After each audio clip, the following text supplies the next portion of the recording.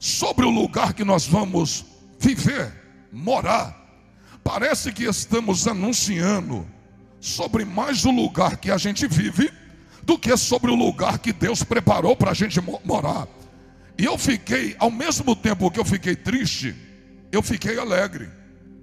Quando eu vi Carlinhos Maia, um grande influencer, dizendo assim: Estou preocupado, gente. Porque o que está acontecendo no Oriente Médio mostra que Jesus está voltando. E se Jesus voltar, eu estou com medo de ficar. Olha para mim. Carlinhos Maia é crente? Sim ou não? Sabe o que, que eu lembrei quando ele falou sobre a volta de Jesus? Jesus disse assim: ó, se vocês não clamarem, as pedras clamarão. Eita glória! Se tu não pegar, vou parar agora. De alguma maneira, Deus vai abrir a boca de alguém para pregar sobre a volta dele. Eu vou falar. O profeta Balaão não quis abrir a boca, mas Deus abriu a boca da jumenta para falar com ele se as pedras não, se os profetas não abrir a boca, Deus vai abrir a boca de alguém para falar acerca da volta dele. As pedras estão clamando, e a igreja parece que está no sono, ou a igreja não, mas boa parte dos crentes parece que está no sono da indolência. Agora, olha para mim, olha para cá. Seja sincero, sem precisar me responder.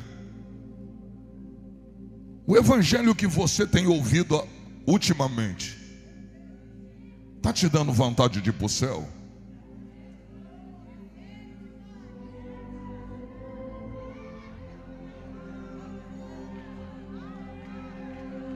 Ou é o evangelho que Deus vai matar aquela fofoqueira?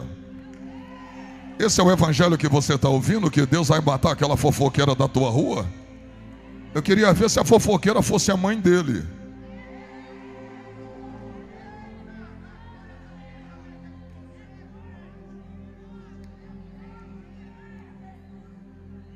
Olha para mim. Você está vindo para vigília. Você está vindo para cultos. A pergunta é: sai da igreja com mais desejo de ir para o céu ou de permanecer aqui? Esse ano que você já está quase no final dele, quantas vezes você orou para Jesus voltar? Eu vou falar bem baixinho, vai dar glória só se tu pegar. Estão fazendo uma maldade com a igreja sem a igreja perceber.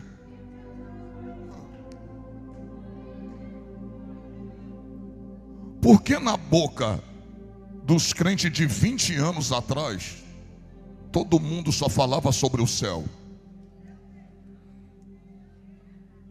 Porque os jovens diziam: Quero ir para o céu. Porque os pastores do altar diziam: Quero ir para o céu.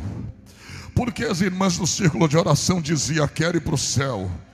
E por que não se dizem mais? Olha para cá, é simples a lógica. Porque as mensagens do altar era qual? Céu. As mensagens do altar era qual? Santidade. As mensagens do altar de 20 anos atrás era obediência.